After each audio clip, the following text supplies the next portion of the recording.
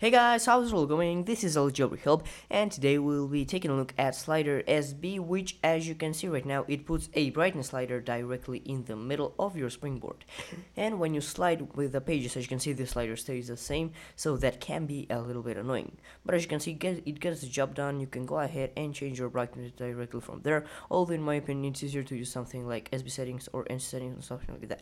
And as you can see it still works in the folder really nice and that's what I'm talking about. As you can see it's real uncomfortable comfortable you can press an application or if you want to change the brightness you can go ahead and press the application and that can be very annoying. But if you do want to get it guys it is called SB SliderSB and it is by Vincent and you can find for free from the BigBoss repo and as you can see there you have a screenshot of what the tweak does.